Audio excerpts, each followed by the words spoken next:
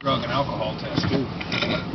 Think she'd do that? As, as long as we don't get around the tool. I said, okay, you don't have nothing to worry from me.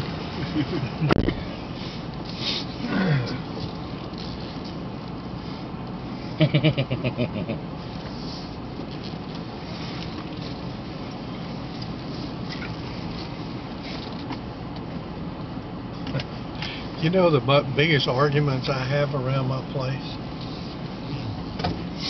is guys will chew each other's ass out because they're using too many rags or too many gloves or something. That's it. Oh God. Why? Because they're scared of what Harriet will say. Well, no, it's just they've taken ownership. Yeah, Hey, that yeah. affects our bonuses every year. Don't Yep. be using all that stuff. Take your time on it, And do you pay good bonuses? Jim. Yes. Okay. Sorry. okay, they're a sizable bonus. Yeah. Well, there, there's something. They're decent, you know, but. Uh, but it's nothing that they can retire on.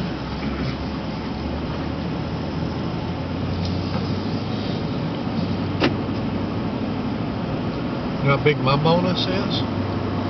Zero. Amen. Oh, this isn't where I want to turn. Here to pick something up one time for Colton. Yeah, that's where we Some buy a lot of or our, something. Yeah, we buy a lot of our um, epoxies there.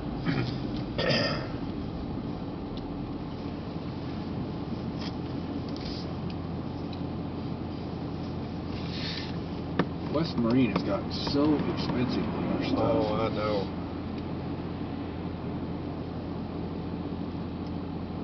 Used to be a place in Honolulu, I imagine it's still there, called Kilgo's. Guys. you needed anything for your boats or any any stainless steel stuff, nuts, bolts, washers, they had it at a reasonable price. Brass, all the brass hardware you ever want.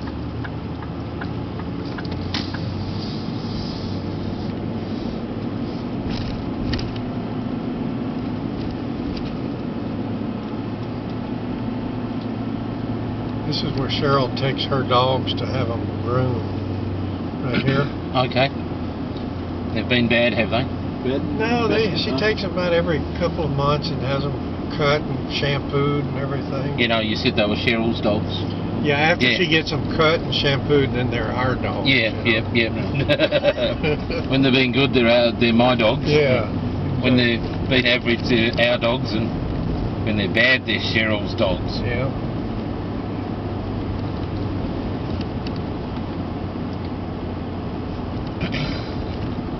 Funny, our dogs got to the point where it's. We've been doing quite a bit.